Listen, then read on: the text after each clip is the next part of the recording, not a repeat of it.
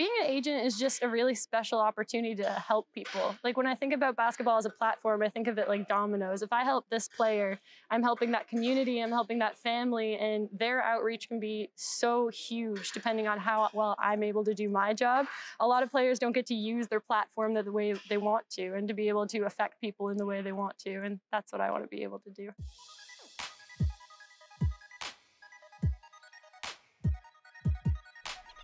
So three months ago, I got certified as an NBA player agent. It's something that nobody in Newfoundland, where I'm from, has ever done before. So I didn't have very much guidance and I had to figure it out myself.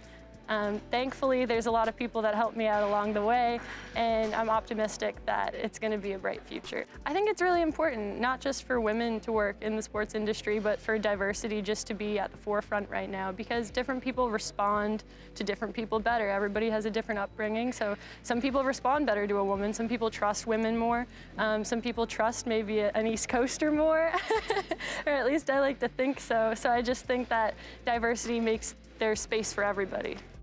So my role with Guelph is really special to me. I get the opportunity to help players learn things that they want to know. So at the beginning of the season, I took the time to speak to each player, see what they feel like they need to work on and what areas they feel like they could improve. For some players, it's their mental game. Some players, they need to eat better, they need to sleep better. Some people just really enjoy spending time with children and being a mentor. And I think for somebody to perform the best on the court, they need to have all the tools they need off the court as well.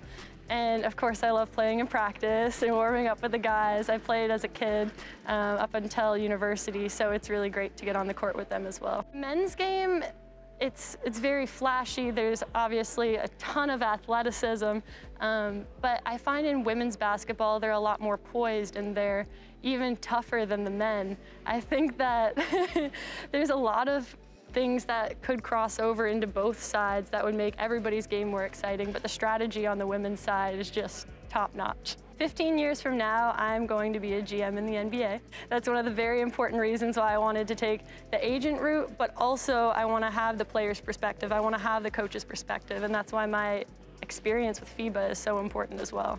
For me, a lot of it was caused by having extra time to think during the pandemic, to be honest with you. I think it's kind of fate in a way. I think you find what you're meant to do based on the interactions that you have with people. And I kept finding people that told me that I should work in basketball. And when there's a pandemic and nobody's playing, the easiest route to take is create your own job. And that's what being an agent was for me.